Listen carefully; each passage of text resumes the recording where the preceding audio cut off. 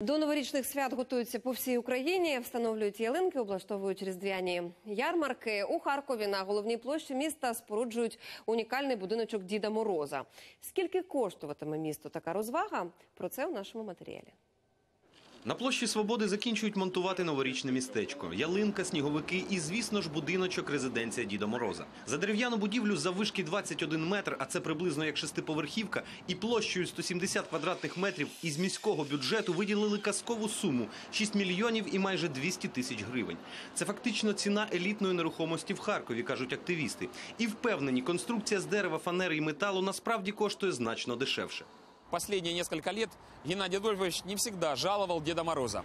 А здесь вот проснулась такая вот любовь, что выделена такая большая сумма на домик Деда Мороза. Наверное, он все-таки осознал, что Дед Мороз был, есть и будет. На мой взгляд, подобный домик можно было сделать, ну, как минимум в два-три раза дешевле. А для срав- сравнения скажу, что цена за метр квадратный, как я посчитал, как минимум завышена в 8 раз.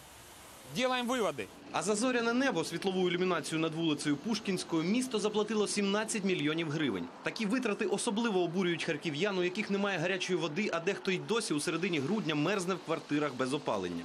Вчера мне буквально звонила женщина, умоляла, помогите, Дмитрий Алексеевич, на поселке Жуковского. Маленький ребенок, у нас в нескольких подъездах нет отопления. Я узнал, там идет наладка.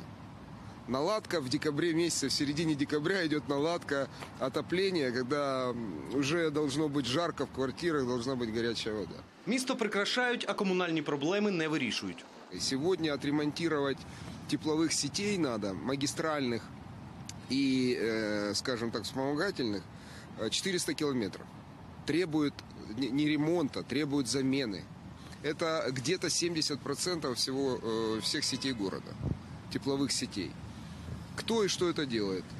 Зачем? А зачем ему делать? Им проще э, раскопать, положить латку, закопать и списать туда непонятное количество денег. Та й робиться це здебільшого кредитним коштом. Наприклад, реконструкцію відомого на всю країну парку Горького зробили в кредит, який і досі не погасили. Під заставою в банку будівля палацу спорту, палацу дитячої та юнацької творчості, кіноконцертний зал Україна, будівля БТІ та самої мерії. Костянтин Редін, В'ячеслав Нікіфоров, подробиці телеканал Інтер Харків.